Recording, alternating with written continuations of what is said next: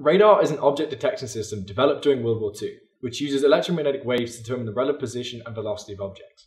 A radar system consists of a transmitter and a receiving antenna to detect reflected waves, which are processed to characterize the object. An object's radar cross section characterizes the extent to which an object reflects or scatters radio waves. This technology allowed militaries in particular to react to incoming vehicles much earlier and more effectively. Thus, an arms race to develop better detection and stealth techniques to combat these advances arose.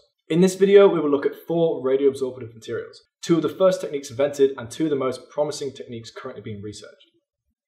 The Salisbury screen technique works by splitting the incident wave into two upon hitting the front surface of the dielectric, one transmitted and one reflected. The transmitted wave travels into the material before reflecting off a metallic back surface. If the dielectric's electrical thickness is matched to a quarter of the wavelength of the incident wave, then the transmitted wave emerges perfectly out of phase with the reflected wave and the two destructively interfere and cancel.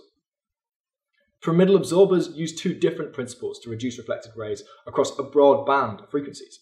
Firstly, repeated reflection which is a property of the square pyramid shape, maximizes the number of bounces a wave makes within the structure.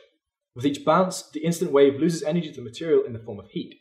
Secondly, an impedance gradient works to mitigate reflections by ensuring a smooth impedance change. At the front face, the impedance is very close to 377 ohms, matching that of free space. This gradually reduces to 0 ohms at the base of the pyramid. One of the big disadvantages of traditional RAMs are their inability to change the reflectivity and reaction to differing situations. This often means that an object treated to avoid detection will always be difficult to detect, even when stealth is detrimental to the task. Graphene presents an interesting solution to this problem, in that it is an atomically thin material. This means that it has negligible effects on the reflection of microwaves unless there are abundant free charges on it.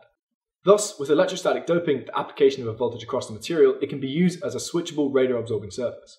The scaling of this technology to create controllable RCS signatures will be incredibly interesting in upcoming years.